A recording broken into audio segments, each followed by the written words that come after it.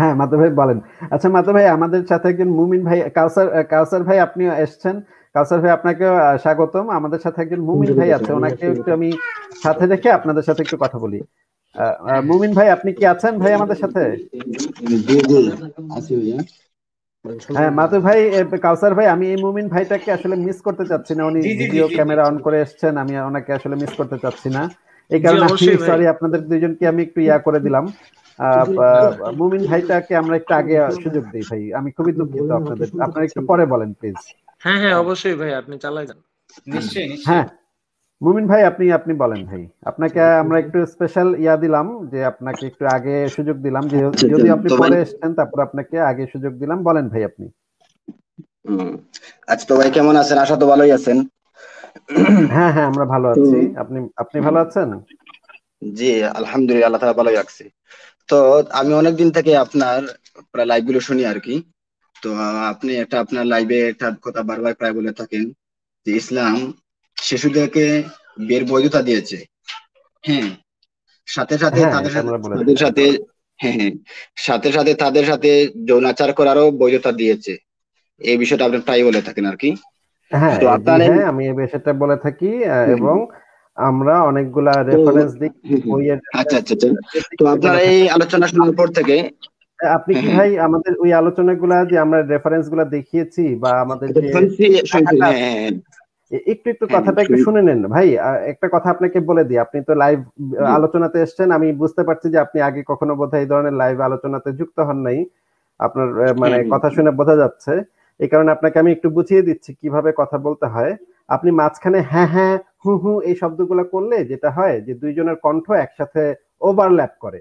তখন দর্শকরা বাইরে থেকে কিছুই শুনতে পায় না। ওই সময়টাতে আপনি যে সময় বলবেন আমি ওই সময় বলব সমস্যা নেই। এই যে এই যে এই যে দেখেন আপনি এখন কথা বলছেন এটাতে যে ব্যাপারটা হচ্ছে যে দর্শকরা কিছুই শুনতে পাবে না। তো আমার কথাটা শেষ হলে তারপর আপনি আবার শুরু করেন তারপর আপনার কথাটা শেষ হলে তারপর আমি আবার শুরু করব। এইভাবে যদি আপনার কথাটা বলি তাহলে কথাটা দর্শকরা সবাই ভালোভাবে শুনতে পাবে। এটা আপনার কাছে অনুরোধ যে আপনি যদি মানে আলোচনা করতে চান বা কথা বলতে চান, তাহলে এই নিয়মটা ফলো করবেন। মাঝখানে কোনো শব্দ করবেন না, কারণ আপনার আশেপাশ থেকে যেন কোনো শব্দ না হয়, প্রয়োজনে নিজেকে মিউট করে রাখবেন। আপনি দেখতে পাবেন যে আপনার মোবাইলে একটা মিউট বাটন আছে একটা মাইক্রোফোন বাটন আছে সেটাতে মিউট বাটন আছে। সেই মিউট বাটনটা আপনি ব্যবহার করতে পারেন। যদি দেখেন যে আপনার আশেপাশে শব্দ হচ্ছে তাহলে সেই মিউট বাটনটা আপনি ব্যবহার করতে পারেন। ভাই মানে নিয়মটা কি বুঝতে পেরেছেন আপনি? জি ঠিক আছে। আচ্ছা খুবই ভালো কথা। তাহলে আপনি বলেন আপনি কি বলতে চান? হ্যাঁ তো আপনার আলোচনা আলোচনা শোনার পর থেকে আর কি আমি ইসলামিক যে সমস্ত বই মৌলিক যে সমস্ত বই ওই সমস্ত আসলে খুঁজলাম যে বিষয়গুলো আসলে ইসলাম কোন দৃষ্টিতে দেখে। তো এরপর থেকে আমি দেখলাম আসলে ইসলাম তো এটা তো স্বতঃসিদ্ধ বিষয় সর্বস্বীকৃত বিষয় যে এই মানে অল্প বয়স্ক মেয়েদেরকে মেয়েদের সাথে বিয়ের বৈধতা দিয়েছে। এটা তো সর্বস্বীকৃত বিষয়। তবে ইসলাম আচ্ছা আচ্ছা। ভাই এক সেকেন্ড এক সেকেন্ড একটা প্রশ্ন ছোট প্রশ্ন। ভাই আপনার কি মনে হয় যে অল্প বয়সী মেয়েদের বিয়ে হওয়াটা কি একটা ভালো ব্যাপার নাকি খারাপ ব্যাপার? এটা আগে একটু আমি আমি এখন আর কি এই বিষয়ে কথা বলতে চাচ্ছি না। আমি ওই যেটা বলতে চাচ্ছি সেটা বলে দিলে আপনার কাছ থেকে আগে আমরা এই জিনিসটা একটু জানতে চাই যে আপনি কি চোখে দেখেন এই জিনিসটাকে? অল্প বয়সী মেয়েদের সাথে যে বিয়ে করে মানুষ অনেক অনেক হিন্দুরা হিন্দুদের ভেতরে আছে এই জিনিসটা হিন্দুরাও করে মুসলমানরা করে এবং তাদের ধর্মে এই জিনিসগুলোর বৈধতা দেয়া আছে অনেক ধর্মেই আছে। কথা সত্য। কিন্তু আপনি একজন মানুষ হিসেবে, ধরেন আপনার একটা ছোট বোন থাকতে পারে বা আপনার একটা মেয়ে থাকতে পারে, কয়েকদিন পরে আপনার একটা মেয়ে হতে পারে। ভাই, আপনি আগে একজন মানুষ হিসেবে আমাদেরকে সবাইকে একটু বলেন তো ভাই। আগে ধর্মের ব্যাপারে আমরা পরে যাব, ধর্মে আছে কি নাই, কি আছে না না আছে, সেগুলো আমরা পরে ডিসকাস করব না। আমরা দুই ভাই মিলে মিশে ডিসকাস করব না, অসুবিধা নেই। কিন্তু আগে আপনি একজন মানুষ হিসেবে আমাকে একটু বলেন তো ভাই, যে এই যে অল্প বয়সী মেয়েদের বিয়ে দেয়া হয় বেশি বয়সী পুরুষের সাথে এই জিনিসটাকে আপনি একজন মানুষ হিসেবে কীভাবে দেখেন? এটা আগে একটু আমাদেরকে বলেন। আচ্ছা আচ্ছা শুনেন আমি বলি যদি আমরা আমি আমি আগে ইসলামের দিক দিয়ে বলি তাহলে আমি পরে আপনি না না ভাই আমি ইসলামে এখন যেতে চাচ্ছি না ভাই। আমি দুঃখিত। আমরা ইসলামে যাব। আমরা ইসলামে যাব ভাই। মুমিন ভাই আমরা ইসলামে যাব। মুমিন ভাই মুমিন ভাই আপনাকে আমি আপনাকে আমি বলছি তো যে আমরা ইসলামে অবশ্যই যাব। আপনি এসছেন যেহেতু আপনার সাথে আমরা কথা বলব। আমরা ইসলামে অবশ্যই যাব। আপনি গ্যারান্টি দিচ্ছি আমি যে আমরা ইসলামে অবশ্যই যাব। আগে- বিয়ে ভাই, শুনেন। আপনি কি আমার কথা শুনতেছেন? আপনি কি আমার কথা হ্যাঁ শুনতেছেন? কথা শুনতেছেন? ভাই আপনি আমার। কথা আগে শুনে নেন আমার কথাটা ভালোভাবে শুনে নেন। আমার কথাটা মন দিয়ে একটু শুনে নেন। যে ইসলামে কি আছে হিন্দু ধর্মে কি আছে না অমুক ধর্মে কি আছে সেগুলো আমরা ভাই আমার কথাটা শোনেন আমার কথাটা শোনেন আমার কথাটা শুনেন। ওই আরেকজনের কথা শুনেন না। আমার কথাটা একটু মন দিয়ে শুনেন ভাই প্লিজ আপনাকে বলছি যে আগে ইসলাম ধর্মে যাওয়ার আগে আপনি একটু মানুষ হিসেবে আমাদেরকে একটু বলেন যে এই বিষয়টাকে আপনি কীভাবে দেখেন। তারপরে আমরা ইসলাম ধর্মে যাব না। সময় তো শেষ হয়ে যাচ্ছে না। আপনার কি সময় কম যে আপনার দুই মিনিটের মধ্যে আমার বইলা তারপর চলে যেতে হবে? ভাই আপনারও আমার কোনো সমস্যা নাই। যদি আপনি সময় দেন আমার কোনো সমস্যা নাই। আমি তো হ্যাঁ, চাই আপনি সময় সময় দিব। দিবেন। আমি আপনাকে আচ্ছা, সময় দেবো ভাই আমি আপনাকে সময় আচ্ছা। দিব। এখানে আরও অনেকে আছেন সবাই আপনাকে আপনার জন্য স্পেশাল সময় দেওয়া হবে কোনো সমস্যা নেই। আগে ভাই এই কারণে আপনাকে বলছে আগে ভাই আপনি একজন মানুষ হিসেবে এই জিনিসটাকে কীভাবে দেখেন সেটা একটু আমাদেরকে বলে নেন। এরপরে আমরা ধর্মে যাব না একটু পরে হ্যাঁ? যেহেতু আচ্ছা শুনেন বলতে পারি? হ্যাঁ হ্যাঁ বলেন। যেহেতু অল্প বয়স্ক মেয়ের সাথে বিয়ে হইলে ওর সাথে ওর ক্ষতি না হয় যেহেতু ওর সাথে সহবাস করলে ওর ক্ষতি না হয় না হয় ক্ষতি মানে সক্ষমতা না যদি সহবাস করার সক্ষমতা না থাকে তাহলে শরীয়ত বা ধর্ম বলছে ওর সাথে মানে যৌনাচার করা যাবে না এটা অবৈধ। সুতরাং এই দৃষ্টিকোণ থেকে এই- কীভাবে দৃষ্টিকোণ থেকে বিয়ে হলে কোনো সমস্যা নাই। হয় কীভাবে বুঝলাম না তো কথা। ক্ষতি হয় কীভাবে? না হয় প্রাপ্ত অনেক সময় আছে যে শরীরে না, না, অনেক সময় মেয়ের প্রাপ্তবয়স্ক হ্যাঁ শুনেন। না না ক্ষতি হয় কীভাবে সেটা জিজ্ঞাসা করেছে। আপনি আমার প্রশ্নটা আগে একটু শুনে নেন। ক্ষতি যে হয় এটা যে আপনি বললেন ক্ষতি হইতে পারে। আপনার কাছে কথা শুনে মনে হচ্ছে যে ক্ষতি হইতেও পারে। কিন্তু ক্ষতি হইতে পারে কি ক্ষতি হইতে পারে? আমাদেরকে একটু ব্যাখ্যা করে আমাদেরকে একটু বলেন যে কি কি ক্ষতি হইতে পারে। একজন যদি একবারে ছোট একটা শিশু হয় যার একবারে মানে গড়গড় কোনো ছোট তাহলে যদি কেউ ওই একটা মেয়ের সাথে ছোট শিশুর সাথে কেউ যদি যৌন আচরণ করতে যায় করতে যায় আর কি তাহলে তো অনেক শারীরিক ক্ষতি আছে সমস্যা আছে একজন মেয়ে ওই সময় মারা হইতে পারে। অতিরিক্ত রক্তকরণ হইতে পারে? সেটা কি ক্ষতি? আমাকে আমাদেরকে একটু বুঝায় বললাম না। ভাই। সেটা কি ক্ষতি? আচ্ছা এই তো বললাম একটা যদি একটা অল্প বয়- বয়স্ক একেবারে অল্প বয়স্ক ছোট শিশু সে যদি যেমন কত বছর? যেমন কত বছর? ভাই? না, এটা এটার জন্য বয়স নির্ধারিত নাই। অনেক সময় আছে তার দৈহিক গঠন এবং শারীরিক সক্ষমতা এবং যদি ভালো পরিবেশে বড় হয়ে ওঠে তাহলে দেখা যাচ্ছে বয়স কম। বয়স কম তারপরেও সে মানে শারীরিকভাবে তার মানে কি যথেষ্ট। আচ্ছা শুনেন আমি আপনাকে মানে মানে- আপনি বলতে চাচ্ছেন একটু মোটা সোটা হইলে ঠিক আছে মোটা সোটা হইলে আপনি আচ্ছা, করবেন আচ্ছা শুনেন আমি মানে ধরেন পাঁচ বছরের একটা মেয়ে। ভাই এবং তাহলে নেন, আমি নেন, দেখাচ্ছি।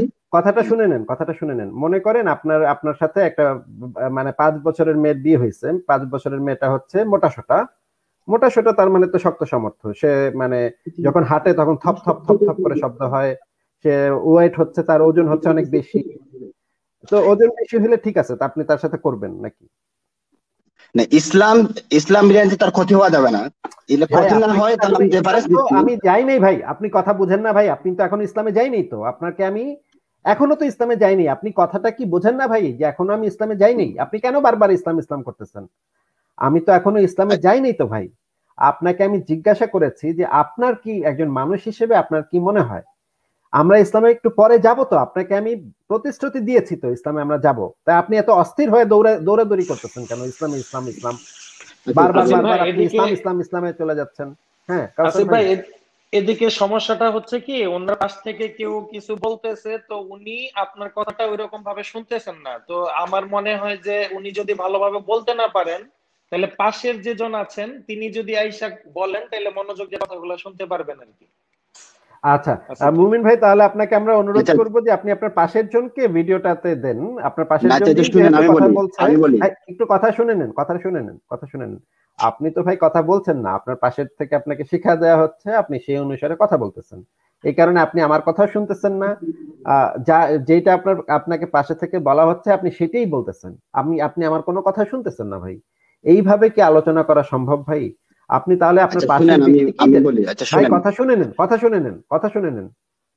এইভাবে তো আলোচনা করা সম্ভব না ভাই। আপনি আপনার পাশের জনকেই দেন উনি যদি আরও আপনার থেকে ভালো আলেম হয়ে থাকে তাহলে আমরা ওনার সাথেই কথা বলি। আর যদি সেটাও না হয় তাহলে আপনারা দুইজনই ক্যামেরার সামনে আসেন দুইজনকে আমরা দেখি আপনারা দুইজনই কথা বলেন। উনি বলবে আচ্ছা আমার সাথে আলোচনা শেষ করেন আমার সাথে আলোচনা আপনার সাথে আলোচনা শেষ করব কীভাবে ভাই? যে আপনার যদি পাশের থেকে একজন যদি আপনাকে শিখাতে থাকে তাতে সেই কারণে যদি আপনি আমার কোনো কথা না শুনেন এবং আপনি আপনি আপনার মতো করেই বইলা যান, আমি কি বলতেছি সেটার দিকে আপনার কোনো খেয়াল নাই, আমি কি প্রশ্ন করতেছি তার দিকে আপনার কোনো খেয়াল নাই, আপনি পাশের থেকে, পাশের দিকে তাকায় আছেন ভাই- শত শত মানুষ তো দেখতেছে যে আপনি পাশের দিকে তাকায় আছেন, ওই ওই অনুসারে আপনাকে যা শিখিয়ে দিচ্ছে আপনি সেটা বরবর করে বলতেছেন। এইটা তো ভাই কোনো আলোচনার পদ্ধতি হইল না। আলোচনার পদ্ধতি হবে, আপনিও কথা বলবেন, আমিও কথা বলব, ঠিক আছে? পাশের থেকে শিখাশিখি বা তাইলে যদি পাশের জন্যই যদি বেশি পণ্ডিত হয়ে থাকে তাহলে পাশের জন্য দেন না কেন আপনি? যে কোনো একজন কথা বলেন। এইভাবে কি কথা বলা যায়? আচ্ছা ঠিক আছে আমি কথা বলি আপনি শুনেন। আচ্ছা তাহলে আপনি পাশের জনকে পাশের জনকে অন্য রুমে যেতে বলেন আগে। বলেন যে অন্য রুমে যেতে এই রুমে না থাকে। আচ্ছা যাক আপনি আমার আমার আলোচনা হ্যাঁ, শুনেন। ঠিক আছে। এবার আপনাকে আমি যেটা প্রশ্ন করেছি আপনি আমার প্রশ্নটা ভালোভাবে মন দিয়ে শুনে সেই অনুসারে উত্তর দিবেন। আমরা কিন্তু এখনও ইসলামে যাইনি ভাই। আচ্ছা ইসলাম আচ্ছা ঠিক এখনও আছে অনেক দূর। ইসলাম এখন অনেক দূর। আপনাকে আমি হ্যাঁ, আচ্ছা সাথে যদি। পাঁচ বছরের একটা মেয়ের সাথে বিয়ে দেওয়া হয় পাঁচ বছরের মেয়েটা যদি মোটা সোটা হয় ধরেন পাঁচ বছরের মেয়েটা অনেক মোটা ভীষণ মোটা মেয়ে হ্যাঁ? যখন সে হাঁটে তখন থপ থপ করে শব্দ হয় অনেক মোটা। এরকম মোটা সোটা মেয়ে হলে তো আপনি তো মানে দেখতেই পাচ্ছেন যে সে শক্ত সমর্থ মোটা সোটা। তখন তো আপনি তার সাথে করবেন নাকি? আপনি প্রশ্ন করছেন প্রথম প্রশ্ন করছেন যে ইসলাম যে যে ছোট বাচ্চা বা ভাই আপনাকে আবারও আপনি ইসলামে যাচ্ছেন ভাই। আপনাকে আমি না না আচ্ছা ইসলাম ছাড়াই ইসলাম ছাড়াই। আগে আচ্ছা আচ্ছা ইসলামের কথা না। স্বাভাবিকভাবে আমরা যদি লক্ষ্য করি তাহলে স্বাভাবিক। হ্যাঁ ভাই এইগুলা ভাই আপনাকে মিউট করে দিচ্ছে ভাই। এইগুলা কি ভাই? মানে আপনারা মানে আপনাকে আমি ব্যাক সাইজে রাখতেছি ভাই। আপনি এখনও কথা বলে যাচ্ছেন। আপনার কোনো কথা কেউ শুনতেছে না এখন। ভাই, এগুলা কি ভাই? মানে খুবই বিরক্তিকর এগুলা ভাই। আপনাকে আমি প্রশ্ন করতেছি, একটা আপনি উত্তর দিতেছেন আরেকটা। আপনাকে যেটা প্রশ্ন করছি সেটার উত্তরটা আগে দেন। তারপরে আপনি যে প্রসঙ্গে কথা বলতে চান, সেটা নিয়ে আমরা কথা বলব। আমি প্রতিশ্রুতি দিয়েছি। তারপরে আপনি কেন এরকম করতেছেন আমি বুঝতেছি না। ভাই, আপনাকে আরেকবার সুযোগ দিচ্ছি। আপনাকে আমি যে করেছি, যে একজন মানুষ হিসেবে মানুষ হিসেবে, এখন ইসলামে যাইনি তো। মানুষ হিসেবে মানুষ হিসেবে মানুষ হিসেবে, এখন ইসলামে যায়নি কিন্তু, মানুষ হিসেবে আপনি জিনিসটাকে কি চোখে দেখেন? আপনাকে সেই প্রসঙ্গে একটা প্রশ্ন করেছি, পাঁচ বছরের একটা মেয়ের সাথে যদি আপনার বিয়ে হয়, আপনি একটা শক্ত সমর্থ পুরুষ বেটা মানুষ, দেখতেই পাচ্ছি আমরা সবাই দেখতে পাচ্ছি আপনি একটা শক্ত সমর্থ বেটা মানুষ, আপনাকে পাঁচ বছরের একটা মেয়ের সাথে বিয়ে দেওয়া হয়েছে, পাঁচ বছরের মেয়েটা মোটা সোটা, সে অনেক মোটা এখন যেহেতু সে মোটা সোটা সেহেতু আপনি কি তার সাথে সেক্স করবেন? কি করবেন আপনি? চলে আমি বলব? জি। আপনাকে তো বলল বলতে ভাই। আপনাকে হ্যাঁ। স্পেসিফিক যে আপনি প্রথমে বলছেন যে মানবিক দৃষ্টিকোণ থেকে দেখি আচ্ছা শুনেন। যদি মানবিক দৃষ্টিকোণ থেকে দেখি যদি আমরা যে এটা ছোট মেয়েকে বিয়ে বিয়ে করা বা বিয়ে দেওয়া এটা কতটুকু যুক্তিসঙ্গত? তাহলে এই ক্ষেত্রে লক্ষণীয় বিষয় হচ্ছে অনেক সময় প্রয়োজনের ভিত্তিতে একটা ছোট মেয়েকেও বিয়ে দেওয়া বিয়ে দেওয়া অনেক সময় জরুরি হয়ে পড়ে। ধরেন একটা ছোট মেয়ে তার কেউ নেই পরিবারে কেউ ভাই আপনাকে আমি একটা প্রশ্ন করেছিলাম আপনি কি প্রশ্নটা শুনেছিলেন? উত্তর দিচ্ছি উত্তর দিচ্ছি। আমার কথাটা শুনেন। না কিন্তু তাহলে এই এই আপনার এই কথা প্রসঙ্গে তো আরেকটা প্রশ্ন এসে যায় যে এমন কি প্রয়োজন থাকতে পারে যে প্রয়োজনে একটা বাচ্চা মেয়েকে বিয়ে দিতে হবে? এমন পৃথিবীর এমন কি প্রয়োজন থাকতে পারে? আচ্ছা বললাম শুনেন না না আপনি বললেন আপনি বললেন যে প্রয়োজন প্রয়োজন হইতে পারে। কি প্রয়োজন হইতে পারে সেটা একটু আমাদেরকে বলেন হ্যাঁ। এটা বলেন এটা শুনেন। যেমন ধরেন একটা মার শুধুমাত্র একটা শিশু সন্তান আছে একটা ছোট মেয়ে আছে তার পরিবারে তার মানে তার রক্ষা করার জন্য কোনো বড় ছেলে নাই বা ওই মেয়ের বাবা নাই। তো এই অবস্থায় তার নিরাপত্তার জন্য উচিত হলো তার কোনো আত্মীয় স্বজন বা অন্য কেউ তাকে বিয়ে দিয়ে দিবে। তখন তার স্বামী হিসেবে ওই- মেয়ের তার মানে দেখাশোনা করবে। তার- সমাজ করতে পারবে না? ওই মুমিন ভাই বুঝতে পারছেন? করতে পারে। বাচ্চাটাকে বিয়ে দেওয়ার দরকার কি? মাটাই তো বিয়ে করতে পারে। কি? না মা মা করল না এই মার সামর্থ্য নাই মা সামর্থ্য নাই না। না সাধারণত সমর্থনে তাহলে যদি এরকম হয় তাহলে তো এরকম হলে তাহলে তো সেই বাচ্চা মেয়েটাকে একটা অ্যাডপ্ট অ্যাডপশনে দিতে পারে। কোনো মানুষ যেন তাকে অ্যাডপ্ট করে নিজের মেয়ে হিসেবে তাকে পালিত নেয় পালিত মেয়ে হিসেবে গ্রহণ করে সেভাবে তো ভাই বউ হিসেবে কেন সেক্স মানে বউ হিসেবে কেন শতগুণ ভালো তো বিয়ে হওয়া এর চেয়ে শতগুণ ভালো বিয়ে হওয়া কারণ সেক্স তো করতে পারবে না। একটু শুনে নেন একটু শুনে নেন একটু শুনে নেন। মানে বিয়েটাই কেন দিতে হবে? বিয়েটাই কেন দিতে হবে। বিয়ের মাধ্যমে একজন স্বামী তার কথা স্ত্রীকে যতটুকু আদর্শ আগে রাখবে। একটা কথা শুনে নেন কথা শুনে নেন কথা শুনে নেন। আদর্শ সোহাগ যে কি করা কি আদর্শ সোহাগ যে করবে সেটা তো আমরা সবাই ভালোভাবে বুঝি ভাই। আদর্শ হক বলতে সেক্স না সেক্স বলতে শুধু আদর্শ হক বুঝে ভাই, ভাই। আচ্ছা কি যে বিয়ে করলে যে কি আদর্শ সোহাগ করে সেটা ভাই গরু গাধা বুঝে ভাই। বিয়ে করার পরে কোন আদর্শ সোহাগ করে? এটা ভাই সবাই জানে।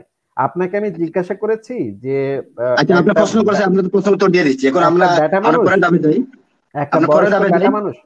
একটা বয়স্ক বেটা মানুষ সে তার মেয়ে হিসেবে সেই বাচ্চা মেয়েটাকে নিজের মেয়ে হিসেবে পালিত মেয়ে হিসেবে গ্রহণ না করে বউ হিসেবে কেন গ্রহণ করতে হবে? মানে এমন কি চুলকানি উঠল বেটার যে তার বউ হিসেবেই শুধুমাত্র নিতে হবে মেয়ে হিসেবে নেওয়া যাবে না নিজের মেয়ে হিসেবে গ্রহণ করা যাবে না। কি কি এমন সমস্যা হইল তার?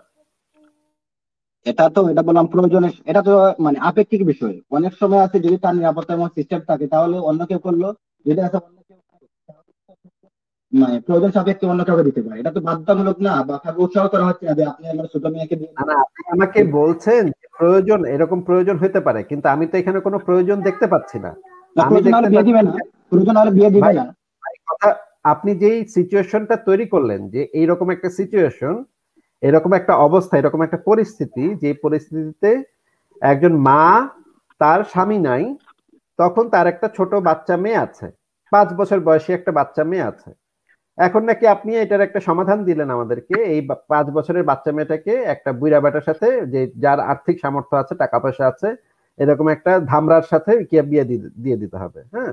ধামরা বুড়ার সাথে বিয়ে দিয়ে দিতে হবেই এমন না। না আপনি বলেছেন আপনি বলেছেন আপনি আমার কথা এরকম শুনেন। আপনি বলেছেন এরকম যদি অবস্থা হয় আপনি নিজে এই কথাগুলো বলেছেন ভাই। এটা এক- এক- একটা প্রয়োজন একটা প্রয়োজন হতে পারে না আপনি কি অস্বীকার করতে পারবেন?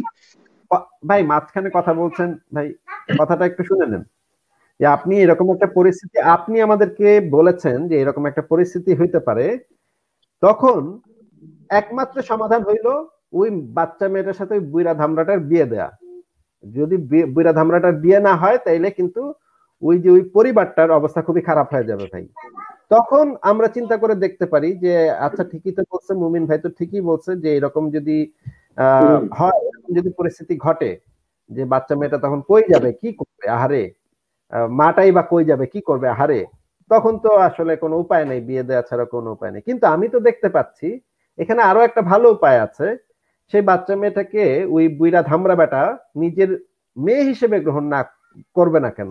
নিজের মেয়ে হিসেবে গ্রহণ করলেই তো হয় যে বেটায় যদি দায়িত্ব নিতেই চায়, ওই বুইরা বেটা যদি বাচ্চা মেয়েটার দায়িত্ব নিতেই চায়, তাহলে তো নিজের মেয়ে হিসেবেই নিতে পারে। বউ হিসেবে কেন নিতে হবে? বউ হিসেবে নিয়ে আদর্শ ভাগই কেন তার করতে হবে? ভাই, এত আদর্শ ভাগ দিয়ে বাচ্চা মেয়ে কি করবে ভাই? ওই বুড়া বেটার আদর্শ ভাগ দিয়ে বাচ্চা মেয়েটা করবে এটা কি?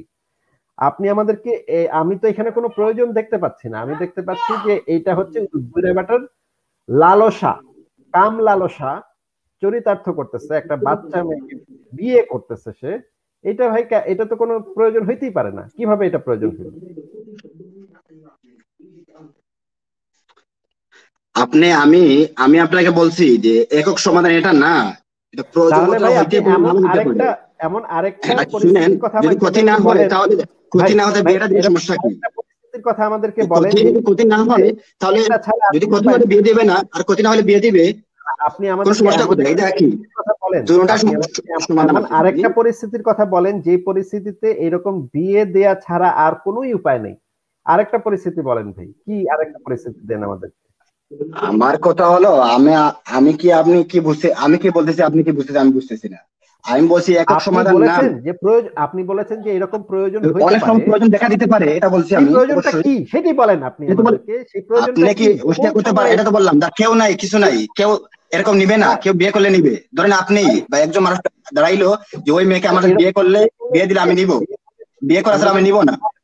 পরিষ্কার বোঝা যাচ্ছে একজন মানুষ যে পারে যুক্তি যুক্তির বিচারে অবশ্যই মনে হয়। তাহলে তো এটা অবশ্যই বোঝা যাচ্ছে ধামরা বেটাটা যৌন লালসা পরিতৃপ্তি পাওয়ার জন্য যৌন লালসা কাম বাসনা তার যৌন লালসা বাচ্চা মেয়েদের প্রতি তার যৌন লালসা চরিতার্থ করার জন্য সে টাকা পয়সা ব্যবহার করে সেই মেয়েটাকে ভোগ করার জন্য এই মেয়েটাকে বিয়ে করতেছে সে। এখানে তো আমরা পরিষ্কার বুঝব তখন যে ওই মেয়ে বেটা আবার বলতেছে মেলে বিয়ে না করলে আমি কিন্তু এই দায়িত্ব নিব না। মানে তার কন্ডিশন হচ্ছে মুমিন ভাই একটু আচ্ছা আচ্ছা করে না আমার কথাটা একটু শুনে নেন ভালো করে। আপনি সেই পরিস্থিতিটা বললেন আমাদেরকে যে ওই বুইরা ধামরা বেটাটা যেই কাজটা করতেছে সেটা হচ্ছে বিয়ে না করলে আমি এই মেয়ের দায়িত্ব নিমু না। এই কথাটা সে বলতেছে। যদি এরকম হয়, তার মানে বোঝা যাচ্ছে ওই বেটার একমাত্র লক্ষ্য হইল সে টাকা পয়সা দিয়ে ওই বাচ্চা মেয়েটাকে ভোগ করতে চায়। হ্যাঁ মেয়েটার সাথে মানে মানে কাম বাসনা চরিতার্থ করতে চায়। এখন এরকম পরিস্থিতিতে তো পুলিশের আসা উচিত, পুলিশের আসা উচিত, পুলিশের এসে সেই বুইরা বেটার পাছায় বাইরা পাছাটা লাল করে দেওয়া উচিত। হারামজাদার কত বড় সাহস, সে একটা বাচ্চা মেয়ের সাথে সেক্স করতে চায়, টাকা পয়সার ব্যবহার করে, তার ধন দৌলত ব্যবহার করে, লোভ দেখায় যে তুমি যদি আমার সাথে এই বাচ্চা মেয়েটার বিয়ে দাও তাহলে আমি বাচ্চা মেয়েটার দায়িত্ব নিব, টাকা পয়সা দিব। এই টাকা পয়সা ব্যবহার করে যে সমস্ত বুইরা ধামরা এই কাজটা করবে ওটা তো বাইরা বাইরা পাশার হাড্ডি ভাঙ্গা ফেলা দরকার। বদমাইশের বাচ্চা। এরকম বুইরারে তো চুল দাড়ি ধইরা রাস্তায় চৌরাস্তার মোড়ে দাঁড় করা জুতা পেটা করা দরকার এরকম বুইরা বুইরা ধামরারে হ্যাঁ? তো আমি যেটা করব, আমার কাছে তো এটা সমাধান হইল, বুইরা ধামরারে চৌরাস্তার মোড়ে ছিঁড়া জুতা দিয়ে কিছুক্ষণ বাইরিতে হবে, তারপরে তারে, তার পাশায় ডান্ডা মাইরা তার পাশার হাড্ডি ভেঙে দিতে হবে। কত বড় সাহস সে বাচ্চা মেয়ের প্রতি তার মানে লক লক করে, তার জিব্বায় পানি আসে তার কুদৃষ্টি পড়ছে, বাচ্চা মেয়ের প্রতি তার লালসা জন্মাইছে। আমি যেটা করব সেটা, এটা প্রথমে করব, দ্বিতীয় যেটা করব সেটা হচ্ছে ওই বাচ্চা মেয়েটাকে আমি কোনো মানবাধিকার সংস্থার কাছে গিয়ে দিয়ে আসব। আমাদের সমাজে এরকম অনেক মেয়ে আছে, আমাদের সমাজে অনেক বাচ্চা বাচ্চা মেয়ে রাস্তায় ফুল বিক্রি করে। আমি সেই বাচ্চা মেয়েটাকে স্কুলে ভর্তি করাবো। এক নম্বর কথা হচ্ছে করাবো। দুই নম্বর কথা হচ্ছে তাকে একটা মানবাধিকার সংস্থার কাছে দিয়ে আসব, যেন সেই মানবাধিকার সংস্থাটা এই বাচ্চা মেয়েটার দায়িত্ব নিতে পারে। তাদের সাথে আমি একটা চুক্তি চুক্তি করব। ভাই ইনফ্যাক্ট ইনফ্যাক্ট আমি এই কাজটা আমার জীবনে করেছি। আপনাকে আমি মানে এই জিনিসটা জানিয়ে দিই, এই জিনিসটা আমি কখনো কাউকে বলি না, এই ধরনের কথা আমি কখনো কাউকে বলি না। আমি একটা বাচ্চা মেয়েকে চিনতাম যে বাচ্চা মেয়েটা আমাদের এলাকার পাশের এলাকায় সে ফুল বিক্রি করত। সেই বাচ্চা মেয়েটার কোনো একজন সৎমা ছিল বা সৎমা ছিল হ্যাঁ। সে ফুল বিক্রি করে তার জীবন নির্বাহ। ভাই, এখন তো আমি তো তার দায়িত্ব নিতে চেয়েছিলাম, কিন্তু তখন আমার এত সামর্থ্য ছিল না।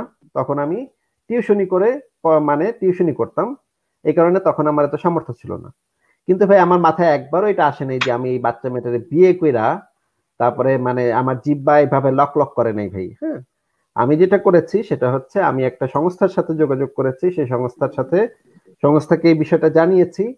তারা সেই বাচ্চা মেয়েটার দায়িত্ব নিয়েছে, সেই বাচ্চা মেয়েটাকে পড়ালেখা করিয়েছে। তারপর পরবর্তীতে কি হয়েছে আমি আর জানি না, কিন্তু তারা বাচ্চা মেয়েটাকে পড়ালেখা করিয়েছে একটা ভালো স্কুলে ভর্তি করিয়েছে।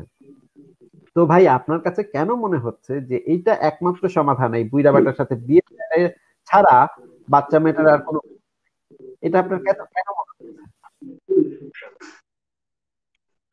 আপনি যে সমস্যার কথা বলছেন সে সমস্যার একমাত্র সমাধান হলো এটা তো বলেই দিয়েছে বলা হয়েছে যে শেষ করতে পারবে না বিয়ে করতে পারবে শেষ করতে পারবে না। এই সমস্যার উত্তর করতে বলা হলো। ইসলামিক ভাই মানে এই যে দেখেন আমি কিন্তু ইসলামে এখনও যাই নাই আমি এখনও ইসলামে যাই নাই একই কথা সে তার পাশে থেকে শিখাই দিচ্ছে সে একই কথা মানে বলে যাচ্ছে। ধুর ভাই মাতব্বর ভাই সরি আমি খুবই দুঃখিত আপনি বলেন না মাতব্বর ভাই। না হয়ে। ঘটনা হচ্ছে যদি এরকম হয় যে দুই একই সাথে দুইটা মানুষের সাথে কথা বলার চেষ্টা করছে একটা মানুষ একই সাথে সে পাশের জনের কাছ থেকে পরামর্শ নিতে চাচ্ছে আবার পাশে আলোচনা চালা যেতে চাচ্ছে এটা তো হবে না। মাল্টিটাস্কিং তো আসলে ওইভাবে হয় না। মুমিন ভাই হয়তো মাল্টিটাস্কিং অভ্যস্ত না। এই কারণে মুমিন ভাই প্যাচ লাগাই ফেলতেছে বারবার। বুঝতেছে না যে এখনও ইসলামে যায় না কিন্তু পাশের যে ব্যক্তি তার মাথায় হয়তো ইসলাম শব্দটা ঢুকে আছে। সে তাকে চাচ্ছে ইসলামে নিয়ে আলোচনা করাতে। আসিফ ভাই এবং মাতুব্বর ভাই আপনারা একটা জিনিস খেয়াল করেছেন কিনা? ওর পিছনে যে লাইব্রেরিটা দেখা যাচ্ছে সেই লাইব্রেরিটা আমার কাছে পরিচিত পরিচিত লাগতেছে। ঠিক আছে? তো তাকে যে ব্যক্তি শিখিয়ে দিচ্ছিল আহ, সেও হয়তোবা আসলে হয়তোবা পরিচিত ব্যক্তি আমরা দেখতে পারতাম। লাইব্রেরিটা আমার কাছে পরিচিত মনে হচ্ছিল। মনে হচ্ছে আমি অনলাইনে আরও কয়েকবার দেখেছি। আচ্ছা আচ্ছা। আমারও না আমারও না খুবই পরিচিত লাগছিল। যিশু ভাই আপনি খুব দারুণ একটা জিনিস ধরেছেন। আচ্ছা কাউসার ভাই এমডি এমডি যিশু ভাই ওই আচ্ছা কাউসার ভাইয়ের কথাটা আগে শুনে দেখেন তো ভাই ওনার পিছনের এই লাইব্রেরিটা পরিচিত মনে হচ্ছে না? এক্স্যাক্টলি এক্স্যাক্টলি এটার কথাই বলছিলাম। দেখেন তো ভাই ওনার পিছনের লাইব্রেরিটা খুবই পরিচিত মনে হচ্ছে না? ওনার লাইব্রেরির যে এই যে গ্লাসটা গ্লাসটার মধ্যে রিফ্লেকশনটা দেখেন। হ্যাঁ আমরা ভাই আমরা কিন্তু এই যে দৌড় দিচ্ছে দৌড় দিচ্ছে দৌড় দিচ্ছে ভাই দৌড় দিচ্ছে। ভাই আপনার ওনাকে আমরা দেখে ফেলছি ভাই। আপনি আপনার পাশে যিনি কথা বলছিলেন দৌড় দিল যে মাত্র দেখে ফেলেছি ভাই দেখে ফেলেছি। এখন আপনার এই ক্যামেরাটা ওদিকে নেওয়া ছাড়া আর কোনো উপায় নেই না হলে বেজ্জত হয়ে যাবেন ভাই। আপনি ক্যামেরাটা একটু ঘুরান। ঘুরায়? ভাই ক্যামেরাটা একটু ঘুরান। ভাই আমরা দেখে ফেলছি তো। ছায়া দেখা গেছে। ভাই যে মানে আপনার পেছনে যে কাচ আছে সেই কাচে রিফ্লেকশন হয়েছে। ভাই প্রতি প্রতিবিম্ব। ভাই আপনার আপনার পাশে যে মানে আপনার পাশে যে কাচ পিছনে যে কাচ আছে সেখানে ভাই প্রতিবিম্ব পড়ে। আপনার পিছনে যে ছিল আপনার পাশে যে ছিল তার ছায়া পড়ছিল এখানে। আমরা পুরো চেহারা দেখে ফেলছি ভাই। আচ্ছা দেখেন সমস্যা কি? সমস্যা কোথায়? না না না না যিনি দৌড় দিচ্ছেন সেই যিনি দৌড় দিচ্ছেন ওনাকে আবার একটু ডাকেন ভাই ওনাকে একটু আসতে আচ্ছা বলেন। ভাই আমি আপনি আলোচনা করতে হলে আলোচনা করেন না হলে এগুলো তো করে ভাই, ওনার নামটা কি? ওনার নামটা কি? আমরা কিন্তু দেখে চিনে আপনার ফেলছি সময় ওনাকে। আপনার ওনাকে একদম স্পষ্ট দেখা গেছে ভাই আপনার পিছনের কাছে আয়নাতে আপনি যে আলোচনা শুরু আলোচনা করেন আলোচনা করব আলোচনা করব আপনি ওনার নামটা একটু আমাদেরকে বলেন তো ভাই। আমি আপনি যে বিষয় নিয়ে আমি আপনি- আলোচনার জন্য আপনি যদি সত্যিকারের মুসলমান হয়ে থাকেন আপনি যদি নবীর উম্মত হয়ে থাকেন তাহলে আপনি ওনার নামটা বলেন দেখি। আপনি আমার মনে আপনার অবশ্যই সাহস হবে না। আমি আমি আপনাকে চ্যালেঞ্জ করছি আপনার কোনো মতেই সাহস হবে না তার নামটা বলার। বলেন দেখি তার নাম আচ্ছা আপনি তো চিনছেন না? আপনি তো চিনছেন তার নাম বলার প্রয়োজন নাই। চিনে ফেলছেন না, দেখে ফেলছি চিনে ফেলছি কিন্তু আপনার মুখ থেকে বলার প্রয়োজন নাই। আপনি আসলেই আপনি আসলেই মুসলমান কিনা সেটা আমরা একটু চেক করে আচ্ছা মুসলমান বলেন আপনি নাম বলে দেন তাহলে আপনি নামটা বলেন। আমি বলে তাহলে দিলে আপনি পরে দেখবেন। তাহলে আপনি নামটা নিশ্চিত হবে। আপনি বলেন যে উনি কে আমি বলব? অবশ্যই বলব। আমরা দেখেছি আপনি দৌড় দিচ্ছেন উনি দৌড় দিচ্ছেন স্পষ্ট দেখা গেছে ভাই স্পষ্ট আমরা দেখেছি। ওনার চেহারাটা ভালো কথা আপনার- ভালো কথা আপনি পিছনে- বলেন আপনি পিছনে তাকান। আপনি আপনার পিছনে তাকান দেখেন আপনার যে কাজটা আছে সেই কাচে প্রতিবিম্ব পড়ে রিফ্লেকশন হয় ঠিক আছে? সেই সমস্যা কি কাচে আমাকে মানুষ তো আছে? আমি তো ভাই আমি তো বললাম না আপনি তো চিনছেন না আপনার নাম বলে আমি তার নাম বলব। উনি একজন- প্রখ্যাত ব্যক্তি না উনি একজন প্রখ্যাত আলেম না বলেন তো। হ্যাঁ ভালো আলে আলেম অবশ্যই আলেম। ওনার কোন জায়গায় পড়ালেখা করেছেন? কোথায় পড়ালেখা করেছেন? আপনি চিনছেন আপনি নাম বলেন আমি বলব অবশ্যই। আপনি তো পরে আমি তো- আমরা শুধু আমি না এখানে সবাই দেখেছে। এখানে আচ্ছা, সবাই তার নামটা বললে নামটা বললে হয়ে যায় পরে দেখেন আমি তো আমি নাম করেছি। নাম আপনাকে যে বড় করেছি, বড় করার কারণটা কি আপনি এবার বুঝতে পেরেছেন? যে কারণ আপনার আমরা একটু ভালোভাবে দেখতে চাচ্ছিলাম যে উনি উনি, ওনার চেহারাটা। আমরা দেখে ফেলছি। তাহলে ভাই আচ্ছা। আপনি যদি সত্যবাদী মুসলমান হয়ে থাকেন তাহলে ওনার নামটা একটু সাহস করে বলে দেন তো দেখি। এই যে আবার আসছে, সমস্যা এই কোথায়? সমস্যা কোথায়? চেহারা দেখালে সমস্যা কোথায়? আপনি যে, করেন বলবেন। ভাই চলে আসছে আমি। করেন, ভালো করেন। দেখান নাই আপনি আলোচনা করেন। ছিল? ভাই, বাপ, দেখেন আবার ভাগে করতে ভাই, মানে ভাই, মুসলমান আগে ঢুকে ছেড়ে দিল আলোচনায় সাহস পায় না পাবলিকের আপনি দৌড়ালেন কেন ভাই? কি পরিমাণ ডরপোক দেখেন আরেক। এই ভেড়া হাই কি মজা কি মজা। ভাই, এটা কি ছিল এটা? এটা মানে ভাই তুই দৌড় দিলি আবার দৌড় দিছে? মানে লুঙ্গিটা কাছে দিয়ে না এই যে আয়না দেখা গেল ভাই লুঙ্গিটা কাছে দিয়ে দিল দৌড় ভাই। মাথাটা নিচু করে দৌড়িয়েছে মানে মাথাটা নিচু করে দৌড় দিয়েছে। ভাই আমার পেট ব্যথা হয়ে গেছে ভাই। ও মানে আসিফ ভাই? আসিফ ভাই একটু একটু খেয়াল করেন এদের এদের ব্রেনের এদের মগজ এতটাই মানে এতটাই ডাউন যে পিছে গ্লাসের মধ্যে যে কেউ দেখতে পারে এই চিন্তাটাও তাদের মধ্যে নাই। কত বড় গাধার গাধা। তোরা একটু পিছনে চেক করে দেখবি না যে তোদের পিছনে আয়না আছে? তোরা একটু চেক করে দেখবি না গাধার বাচ্চা? ভেড়ার বাচ্চা ভেড়া? তুই দেখবি না তোর পিছনে কি? তোর চেহারা যে দেখা যাচ্ছে। তোর যে মানে ছাগলের মতো দাড়ি সেটা যে পরিষ্কার আমরা দেখতে পাচ্ছি। আবার দৌড় দিলে যে সেটাও দেখতে পেলাম। তুই চিন্তা করবি না? কি একটা অবস্থা।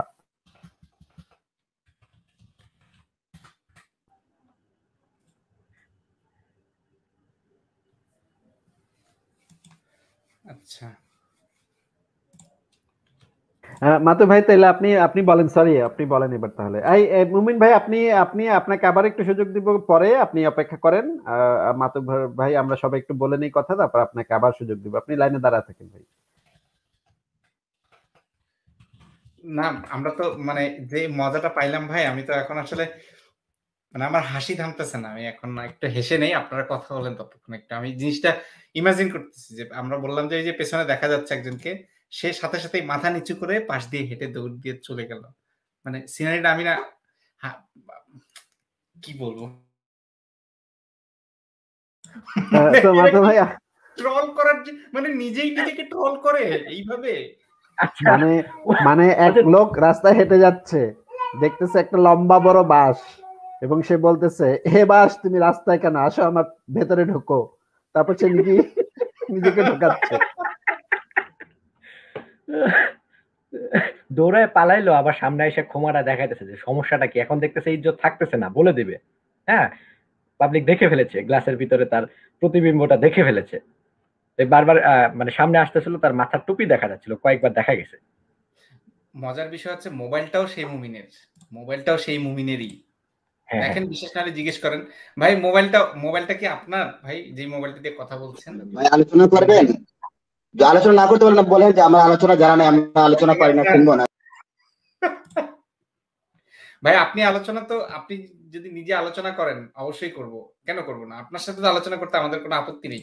কিন্তু আপনি এই যে এরকম এইগুলো করে আপনারা যে এই যে এই যে এই যে নিজেরাই নিজেদেরকে যে ট্রলগুলো করেন এতে আপনাদের লাভটা কি হয় আমি আসলে বুঝি না।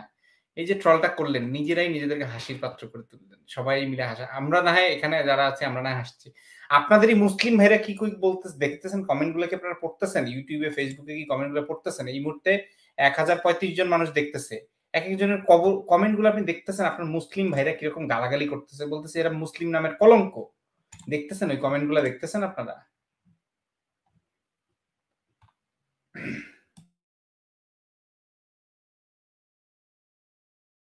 মানে একটা জিনিস এই জায়গাতে পরিষ্কার যে এই লোক অ্যাকচুয়ালি কি আলোচনা করার জন্য আসছে নাকি না? মানে এই যে কথার পৃষ্ঠে কথা ওভারলেকিং বারবারই করতেছে বারবারই করতেছে। এগুলো তো তাকে শিখাই দেওয়া হয়েছে। তুমি খালি হ্যাঁ, মধ্যে কথা বলবা ওভারলেকিং করবা ইন্টারাপ্ট করবা তোমারে বের কইরা দেবে পরে বলবে যে এই যে এই যে দেখছ আমারে বের কইরা দিছে। মানে এই হইছে গিয়ে এদের মানে এদের অ্যাকচুয়ালি আলোচনা করার কোনো ইন্টারেস্টই নাই। যদি আলোচনা করার ইন্টারেস্ট থাকে চুপ করে কথা শুনবে কথা শুই না বুঝা উত্তর দেবে আলোচনা করবে এইভাবে আলোচনা চলে তাই না হ্যাঁ এটা এটা ইন্টেনশনালি এই কাজগুলো ইন্টেনশনালি মনে করেন যে. কথার মাঝখানে কথা কন্টিনিউ করা তার মানে ইন্টারাপ্ট করা একটু পর পর এগুলো ইন্টেনশনালি মানে যাতে সেও জানে খুব ভালো করেই জানে যে এরকম করে বিরক্ত করলে লোকজন যে কেউই একটা একটা নর্মাল মানুষও বিরক্ত হয়ে বলবে দূর তোর সাথে কথা বলব না। এটা নর্মাল মানুষ মানে সাধারণ একটা মানুষও কিন্তু এরকম করে এগুলো দেখলে বিরক্ত হবে। এবং এটা সেও জানে জেনেই ইচ্ছে করেই এসে যে একটু বিরক্ত করি করে ই করি। এটাই। মানে হ্যাঁ, আজকে হ্যাঁ হ্যাঁ ভাই এই ভাই কাসার ভাই বলেন বলেন। মানে এই যে সে, এই লোকটা যে আজকে আসলো হ্যাঁ? আজকে যে লাইভে আসলো, এই বিষয়টা নিয়ে কথা বলতে, আজকেই কিন্তু আসিফ ভাই পোস্ট করছে, পোস্টের মধ্যে কিন্তু দুইটা লিংক দিয়াও দিছে। দুইটা লিংক দিয়া তারপর বলছে যে, এই জিনিসগুলো আপনারা পড়ে আসেন, যাতে গোছায় কথা বলতে পারেন। ওইগুলোর মধ্যে স্পষ্ট এই টু জেড সব কিছু রেফারেন্স দেওয়া আছে। মানে একবার পড়ছেও না পরেও নাই, বুঝেও নাই, আইসা বলতেছে যে, অপ্রাপ্তবয়স্ক মেয়েদের সাথে সেক্স করা নিষেধ করে দিছে। টোটালি নিষেধ করে দিছে বিয়ে শাদী করার পরেও। ওই জায়গার মধ্যে যে কতগুলা ফতোয়া আছে হ্যাঁ হানাফি মাযহাবের যে ইয়া আছে ওইগুলো কি একবারও চোখে পড়ে নাই নজরে পড়ে নাই এই কথাগুলা? এটাই আর কি আমার কথা ছিল আচ্ছা। আসিফ ভাই। কাউসার ভাই নিষেধ করে দিলে তো নিশ্চয়ই এটার একটা শাস্তির বিধান আছে। যদি কেউ সেক্স করে তার বউয়ের সাথে আহ, তাহলে তো তার একটা শাস্তির বিধান থাকার কথা। আহ, জি- ভাই যিশু ভাই আমি কি ঠিক বলতেছি না? এক্স্যাক্টলি ভাই শাস্তির হ্যাঁ, বিধান হ্যাঁ। থাকার কথা প্লাস প্লাস এটাও বলা আছে মানে সহি হাদিসের মধ্যে এটাও আছে যে মানে শরিয়া ভিত্তিক, আপনার কোরআন হাদিস ভিত্তিক যে আইনগুলো আছে, শাস্তির যে বিধানগুলো আছে, এগুলার বাইরেও যদি কেউ কোনো অপরাধ করে, তাহলে তাকে দশটা বেতের বাড়ি মারতে হবে। দশটা বেতের বাড়ি মারতে হবে যে কোনো শাস্তির বেলায়। হ্যাঁ এই যে কোনো, এই এই অপ্রাপ্ত বয়স্ক কোনো একটা মেয়ের সাথে বিয়ে করার পরে হ্যাঁ তারপর তাকে তার সাথে যদি যৌন সঙ্গম করে ওই যে ওই লোকটা তো বলতেছে যেটা হারাম করে দিছে এটা করা যাবে না। তাহলে তো অবশ্যই অন্তত পক্ষে দশটা বেতের বাড়ি থাকার কথা। মাস্ট বি থাকবে। তাহলে আমরা একটু তাহলে আমরা একটু রেফারেন্সগুলো একটু দেখে আসি যে ওনার যে দাবিটা যে মানে সেক্স বিয়ে করা যাবে কিন্তু সেক্স করা যাবে না। এই- দাবিটা কতটুকু সত্য সেটা একটু আমরা আহ, বুখারী শরীফের ব্যাখ্যা গ্রন্থ থেকে আমরা একটু দেখে নিই। যে এই- গ্রন্থে এই জিনিসটা সম্পর্কে কি বলা আছে সেটা আমরা একটু দেখে নিই ভাই। আমাকে একটু সময় দেন মাতু ভাই আহ, কাউসার ভাই যিশু ভাই আমাকে এক- সেকেন্ড সময় দেন আমি এটা একটু দেখাই দিই। এটা হচ্ছে বোখারি শরীফের ব্যাখ্যা গ্রন্থ আপনারা নিশ্চয়ই স্ক্রিনে সবাই দেখতে পাচ্ছেন।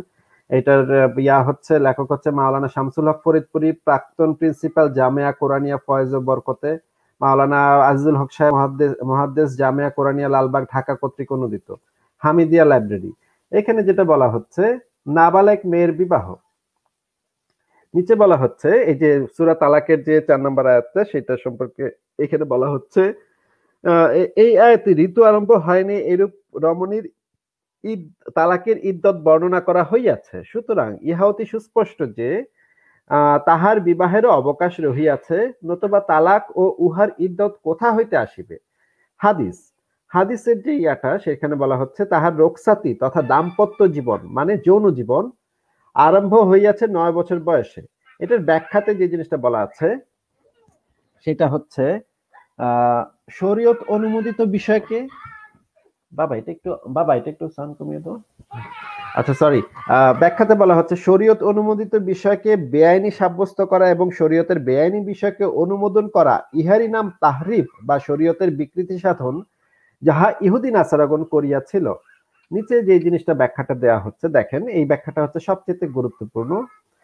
অপ্রাপ্তবয়স্ক ছেলে মেয়েদের বিবাহ সম্পর্কে ইমাম বোখারি কোরআন ও হাদিস দ্বারা শরীয়তের অনুমোদন প্রমাণিত করিয়াছেন। ইহাকে বেআইনি করা বস্তুত শরীয়ত তথা আল্লাহ তালা কর্তৃক তাহার বান্দাদের জীবন ব্যবস্থা রূপে প্রদত্ত শাসনতন্ত্রে হস্তক্ষেপ ও উহার তাহরিফ বা বিকৃতি সাধন করা। যেহেতু এই অনুমোদনের উপর স্বয়ং রাসুলুল্লাহ আমল করিয়াছিলেন অতএব এই অনুমোদনকে দূষণীয় সাব্যস্ত করা রাসুলের কাজ কার্যকে দূষণীয় সাব্যস্ত করার সামিল। দেখেন এইখানে এখানে দেখেন পরিষ্কার ভাবে পরিষ্কার ভাবে কিন্তু দাম্পত্য এবং রোগসাতি দুইটাকেই যে হালাল করা হয়েছে সেই জিনিসটাই কিন্তু এখানে বলা হচ্ছে। এই যে দাম্পত্য মানে বিবাহ রোগসাতি দুইটার কথা এখানে বলা হচ্ছে। এইটার সাথে আরও আছে হচ্ছে গিয়ে, আর আমরা আরেকটা রেফারেন্স একটু দেখে নিই। আমি আশরাফুল হিদায়া থেকেও আসব। তার আগে তাহফিমুল কোরআন, যেটা হচ্ছে সৈয়দ আবু আলা মৌদুদি উপমহাদেশের মানে অত্যন্ত প্রখ্যাত একজন স্কলার তার যে তাহফিমুল কোরআন, সেই গ্রন্থটা থেকে, দেখেন একদম এই যে এই নিচের অংশটা। সুতরাং যেসব মেয়েদের এখনও ঋতুস্রাব শুরু হয়নি, তাদের ইদ্যত বর্ণনা করা স্পষ্টত কথাই প্রমাণ করে যে এ বয়সে মেয়েদের বিয়ে শুধু জায়েজই নয়, বরং তার সাথে স্বামীর নির্জন বাস ও মেলামেশাও জায়েজ। দেখেন, স্বামীর সাথে নির্জন বাস এবং মেলামেশাও জায়েজ। এখন এ কথা স্পষ্ট যে কোরআন যে জিনিসকে জায়েজ বলে ঘোষণা করেছে, তা নিষিদ্ধ করার অধিকার কোনো মুসলমানের নেই। এরকম অসংখ্য রেফারেন্স আমাদের এই যে সংশয় ডট কমে এই লেখাটার ভিতরে আছে, আপনারা একটু পড়ে দেখেন। হ্যাঁ ভাই, তাইলে তাইলে এই জায়গার মধ্যে আমরা যে জিনিসটা দেখতে পারলাম যে অপ্রাপ্ত বয়স্ক মেয়ে তার সাথে যদি স্বামীর বিয়ে হয়, নির্জন বাস করারও বৈধতা আছে। হ্যাঁ তা আমরা এই জায়গার মধ্যে অবশ্যই তাইলে যদি, এটা যদি ইসলাম মতে হারাম বলে তাহলে এই জায়গার মধ্যে তো বৈধতা দেওয়ার কথা থাকতোই না টোটালি থাকতো না প্লাস শাস্তির বিধান থাকতো। এখন আল্লাহর হদ আল্লাহর হদ সমূহের মধ্যে আমরা এরকম ধরনের কোনো শাস্তির বিধান পাই না। হ্যাঁ পাই না তো আমরা যদি আরেকটু দেখি, আমরা যদি সহি বুখারির একটা হাদিস দেখি এটা ইসলামিক ফাউন্ডেশন থেকে প্রকাশিত। আমি যেহেতু মোবাইলে সে কারণে আমি শেয়ার করতে পারতেছি না। এটা হচ্ছে সহি বুখারি ইসলামিক ফাউন্ডেশন কর্তৃক প্রকাশিত ছয় হাজার তিনশো চৌরাশি নাম্বার হাদিস। এই হাদিসের মধ্যে বলতেছে, আব্দুল্লাহ ইবনু ইউসুফ আবু বুর্দা থেকে বর্ণিত, তিনি বলেন, নবী সাল্লাহ আলাইহি সাল্লাম বলতেন, আল্লাহর নির্ধারিত হদ সমূহের কোন হদ ব্যতীত অন্য ক্ষেত্রে দশ কষাঘাতের ঊর্ধ্বে দণ্ড দণ্ড প্রয়োগ করা যাবে না। হ্যাঁ? তো এই জায়গার মধ্যে যে আমরা যে জিনিসটা পাইলাম যে এক তো মানে এই আল্লাহর হদ ব্যতীত একটা হয়েছে দশ কষাঘাতের বেশি দণ্ড প্রয়োগ করা যাবে না। অন্তত পক্ষে এই দশ কষাঘাতের দণ্ড আছে এটা দেখাতে হবে তো তাই। তাই না ভাই? যদি হারাম হ্যাঁ করে থাকে। ভাই, আরেকটা জিনিস হচ্ছে যে আরেকটা জিনিস দেখাচ্ছি, ওই যে যেটা ওনাদের মাদ্রাসাতে পাঠ্যপুস্তক, সেই বইটা থেকে আরেকটা জিনিস দেখাচ্ছি। এটা হচ্ছে আশরাফুল হিদায়, আল হিদায় গ্রন্থটা তো ওনাদের পাঠ্যপুস্তক ওনাদের এটা পড়ে পাশ করতে হয়। আশরাফুল হিদায় গ্রন্থে যে জিনিসটা বলা হচ্ছে, দেখেন এই অল্প বয়স্কতার কারণে, আর যদি অল্প বয়স্কতা কিংবা বার্ধক্য- বার্ধক্যের কারণে ঋতুমতি না হয়, তাহলে ইদ্যত হবে তিন মাস। ভাই যৌনকর্ম না হলে কি কারও ইদ্যত হয়? যৌনকর্ম না হলে কি কারও ইদ্যত হয়? এটা মানে এগুলা কি কথা ভাই? সেটাই, এটা তো কোরআনের আয়াত দ্বারাই প্রমাণিত যে কোরআনের আয়াতের মধ্যেই বলতেছে যদি স্পর্শ না করো তাহলে ইদ্যতের প্রয়োজন নাই, আর যদি স্পর্শ করে তাহলে ইদ্যতের প্রয়োজন, ইদ্যতের, ইদ্যত, ইদ্যতের প্রয়োজন আছে। কোরআনের আয়াতের মধ্যেই আছে। সেই সাথে আমরা ফতোয়ায় আলমগিরি সেটাও একটু দেখে নিতে পারি। ফতোয়ায় আলমগিরি তো এই জিনিসটা বলা আছে যে, এখানে মানে মাসালাটা দেয়া আছে যে, যদি এরকম যৌনকর্ম পরে, কিন্তু সেখানে কোথাও কোনো শাস্তির বিধানের কথা নাই। আমি ফতোয়ায় আলমগিরি থেকে আমি এখন দেখাচ্ছি। আপনারা একটু দেখেন স্ক্রিনে। দেখা যাচ্ছে বোধ হয় আমি আরেকটু না হয় বড় করি, দেখি, আরেকটু বড় করে দেওয়া যায় নাকি? এখানে দেখেন, মাসালা বিশ নম্বর মাসালাতে যে জিনিসটা বলা হচ্ছে আদাবুল কাজী গ্রন্থে উল্লেখ করেছে, এখনও হায়েজ জারি হয়নি এবং এমন নাবালিকা স্ত্রীর সাথে তার স্বামী যদি সহবাস করে থাকে, সে যদি এমন বয়সী হয় যে সে বালিকারা সচরাচর সহবাস করা যায় তবে তালাকের পর তার ইদ্যত হবে তিন মাস। মানে দেখেন, এখানে কিন্তু পরিষ্কারভাবে বলে দেওয়া হচ্ছে যে নাবালিকা মেয়ের সাথে যদি সহবাস করে তাহলে সেই বালিকার বয়স সেই বালিকার জন্য ইদ্যত হবে তিন মাস। এইটা তো বলে দেওয়া হচ্ছে এবং কোনো শাস্তির বিধানের কথাও কোথাও নাই। তাহলে আর কি থাকে ভাই? একদম পরিষ্কার বিষয়গুলা একদম পরিষ্কার। ঠিক আছে? আচ্ছা যাই হোক যেটা বলতে চাইছিলাম আসিফ ভাই তো আমরা তো সম্প্রতি দেখছি আমাদের এই ফেস দা পিপল একটা পেজ তো সেই পেজের মধ্যে আপনার আপনার একটা আলোচনার একটা কথা হয়েছিল উঠছিল। তো আগেও বেশ কয়েকবার আলোচনা হয়েছিল তো সেই জায়গার মধ্যে দেখা গেছে যে কোনো আলেমই রাজি না। কোনো আলেমি আসতে রাজি না। নাস্তিকদের সাথে কথা বলবে না এরকম একটা মাত্র। একটা ভিডিও কাউসার ভাই কাউসার ভাই হ্যাঁ। প্রথমে কিন্তু তারা রাজি ছিল। এই যে ভারুন ইসার কিন্তু স্ট্যাটাসও দিছিল এটা নিয়ে। সে আসবে করবে। তারপরে হ্যাঁ। ইয়াও কিন্তু রাজি হয়েছিল। মানে এনায়েতুল্লাহ আব্বাসি আব্বাসি উনিও রাজি হয়েছিলেন। কিন্তু পরে যে বিপদ বুঝতে পারলেন সেই ওনাদের মনে হয় ইয়াটা মানে ফুস করে উড়ে গেল। হ্যাঁ হ্যাঁ সেটাই। আমি আমি ওইটাই বলতে চাচ্ছিলাম যে এই যে বড় বড় আলেম যারা মাতুব্বর ভাই যে ভিডিওটা মানে দেখাল আমাদের সবাইকে যে ডক্টর আবু বকর জাকারিয়া তারপরে আব্দুল রাজ্জাক বিন ইউসুফ ওনাদের যে ভিডিও গুলা মাতুব্বর ভাই দেখাল এই ভিডিও গুলা দেখানোর আগে যে এই আব্বাসী সাহেবের সাথে মানে যোগাযোগ হয়েছিল আব্বাসী সাহেব মনোসম্মতি দিছে যে হ্যাঁ আলোচনা হতে পারে এরকম ধরনের কিছু। হ্যাঁ তারপর ওই ইজহার সাহেব তো মানে সরাসরি স্ট্যাটাস মারছে পোস্ট মারছে, যে আসো আলোচনা করব। পরবর্তীতে তাদের সাথে যোগাযোগ করে আর এক, একজনকেও পাওয়া যায় নাই। তো আমরা তো দেখলাম, ফুস করে গেল। তো একজন বীর যোদ্ধা, সাহসী, তাকে আমি সাহসী বলব, যে সে সাহস করে আসছিল কথা বলার জন্য। পরবর্তীতে কি হইল ভাই, কোন জায়গা থেকে কি সমস্যা হইল, বুঝতে পারি না। তবে আমি ওনার একটা জিনিস আমি দেখাতে চাই। মাতুব্বর ভাই আপনি কি আপনি যদি একটু ওনার স্ট্যাটাসে মানে উনি- যে স্ট্যাটাসগুলো দিছে ওইগুলা থেকে একটু যাইতে পারবেন? আচ্ছা এই যে এই এই এই এই মহাশয় রাজি হয়েছিল যে উনি আলোচনা করবেন হ্যাঁ এই যে সৈয়দ গোলাম কিবরিয়া আজহারি। হ্যাঁ আমরা যদি ওনার একটা পোস্ট দেখি মানে সর্বপ্রথম যখন আলোচনা হয়েছে হ্যাঁ আলোচনার ব্যাপারে যখন আমরা মানে দেখতেছিলাম যে হ্যাঁ উনি আলোচনায় রাজি আছে উনি কথা বলবে। হ্যাঁ এই আমরা যদি আরেকটু নিচে যাই মাতু ভাই, এর আগের পোস্ট। এরও আগের পোস্ট। মানে প্রথম পোস্ট যেটা দিছিল উনি এটা, এটারও আগের, এটারও এটারও আগের পোস্ট। হ্যাঁ।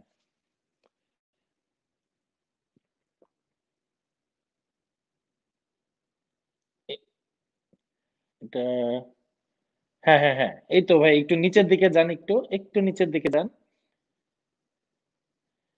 এই যে এই যে এখানে এখানে দেখেন আমরা দেখি একটা জিনিস দেখি এখানে যে বিদ্রোহ, বিনীত অনুরোধ সবার প্রতি আমাকে দয়া করে ষোলোই ফেব্রুয়ারি পর্যন্ত ফেসবুকে, ফেসবুক মেসেঞ্জার, মোবাইল, হোয়াটসঅ্যাপ, ইমোতে নক দেবেন না, প্লিজ।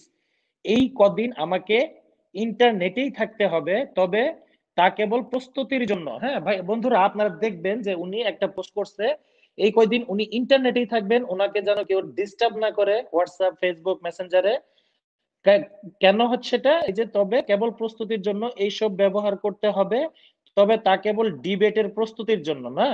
উনি ডিবেটের প্রস্তুতি নেবেন, ষোলো তারিখ পর্যন্ত মানে ভর, ভরপুর প্রস্তুতি নেওয়ার মানে ওনার ইয়া অনলাইনে থাকবেন।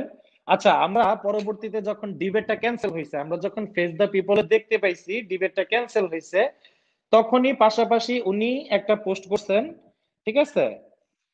উনি একটা পোস্ট করছেন, সেই পোস্টটা এই তো এক্স্যাক্টলি এই যে এই পোস্টটা করছেন সৈয়দ গোলাম কিবরিয়া আজহারি, তো এই পোস্টার যদি আমরা যদি একটু নিচের দিকে যাই হ্যাঁ? নিচের দিকে গেলে এই পোস্টটা আমরা দেখতে পারব কি লিখছেন উনি হ্যাঁ এটা নিচে, আরেকটু নিচে যান ভাই। আরেকটু নিচে, আরও নিচে আরও নিচে আরও নিচে আরও নিচে আরও নিচে নিচে। এই যে, ভাই, এই জায়গাতে একটু দেখি। হ্যাঁ এই যে কোথায় লেখাটা চলে গেল? প্ল্যাটফর্ম সেজন্য রাজি হয়েছিল। এটা এটা না। একটু নিচে।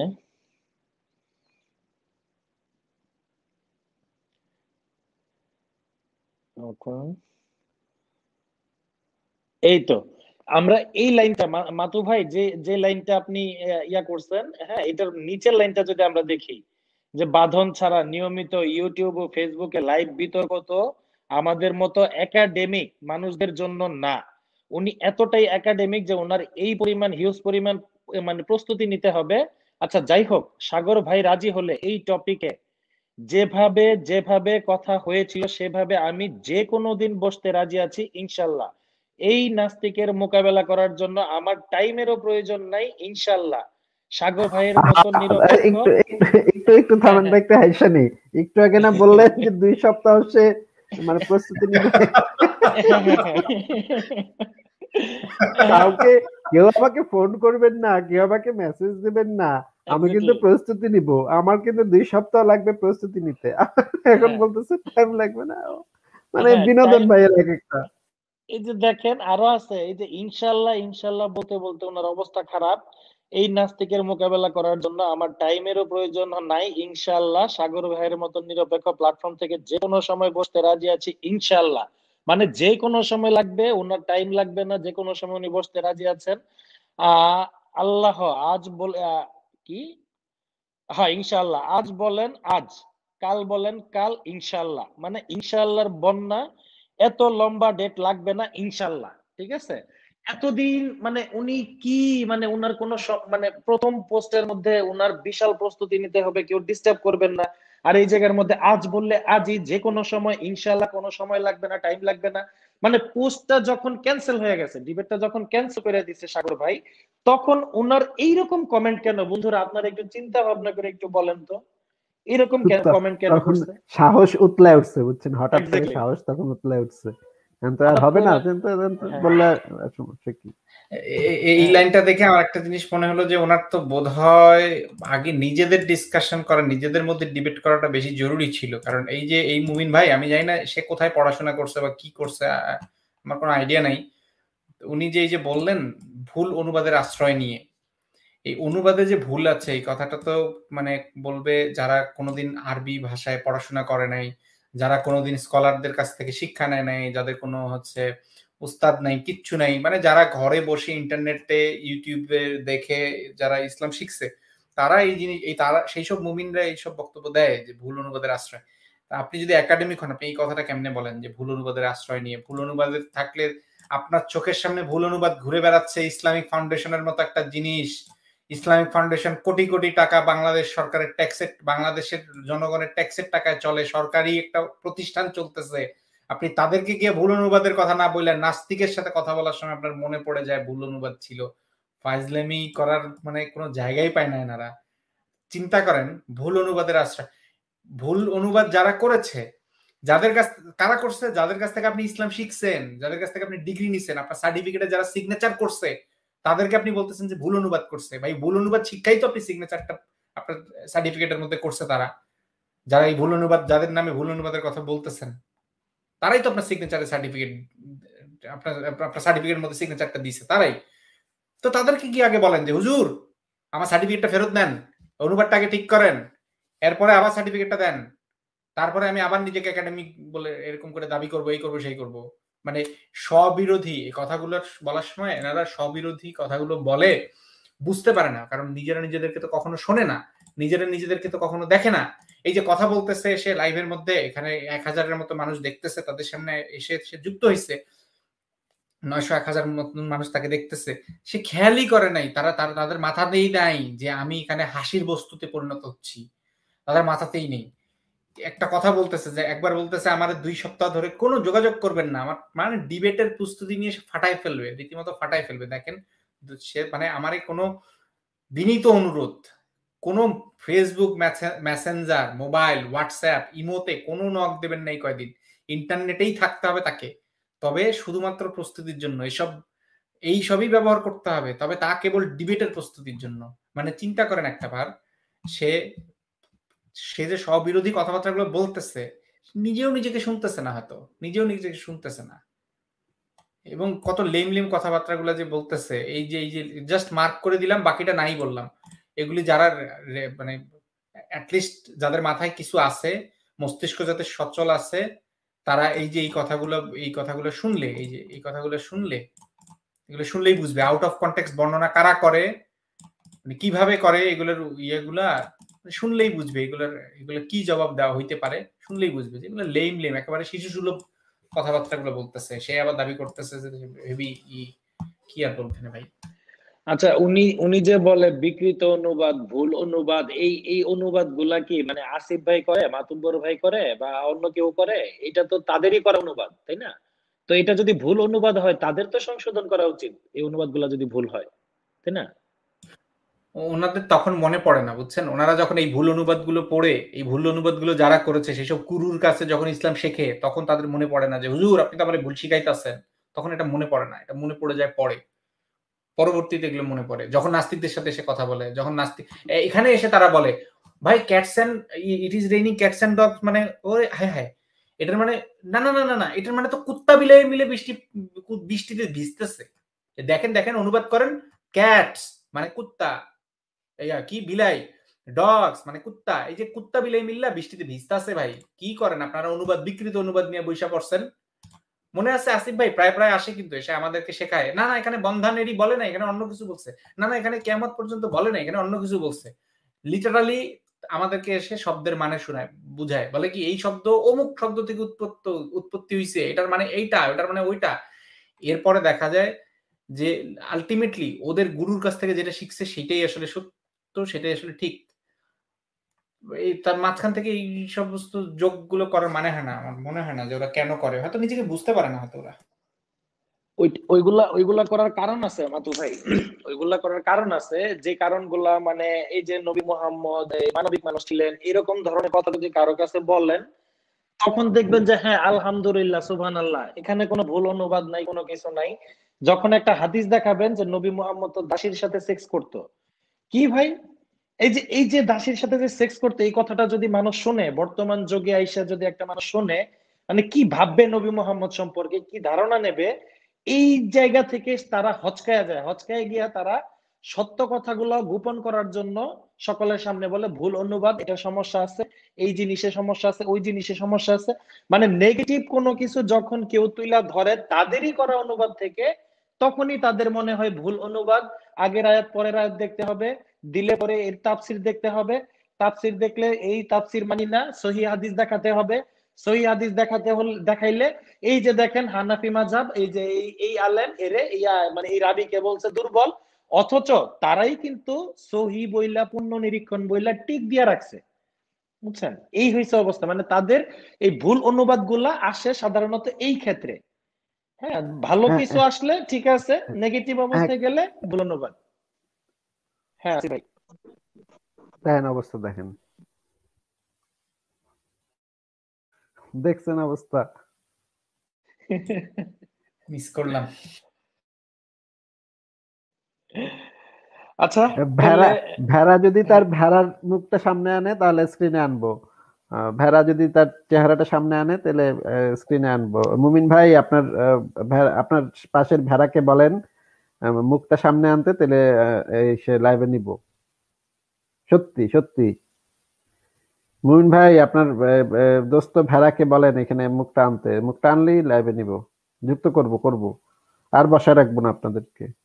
আসেন আসেন। ভেড়াকে বলেন মুখটা সামনে আনতে, ক্যামেরার সামনে আনতে। গোয়াল ঘরে পিএইচডি কারি না? গোয়াল ঘরে আপনি আমার সাথে আলোচনা করেন। আপনার সাথে আলোচনা করব কি ভাই? আপনি বেড়া নিয়ে আসছেন। আচ্ছা কাসার ভাই হ্যাঁ বলেন কাসার ভাই শেষ করেন ভাই।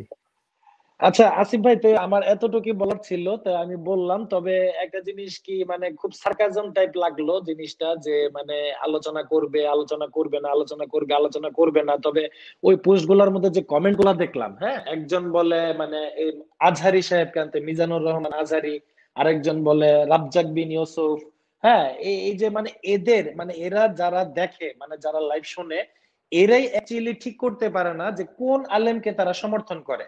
এখন তাদের সমর্থন বেশিরভাগ বেশিরভাগ মানুষের সমর্থন অনুযায়ী যদি কোন আলেমকে আনাও হয় পরবর্তীতে সে আলেমের সাথে যদি কথা বলাও হয় যদি তার কোনো একটা বেকারমূলক একটা অবস্থা হয়েও যায় তখন যেই ব্যক্তিগুলা এই আলেমকে সিলেক্ট করছে সেই ব্যক্তিগুলোই বলবে যে সে ইসলাম সম্পর্কে কিছু জানে না।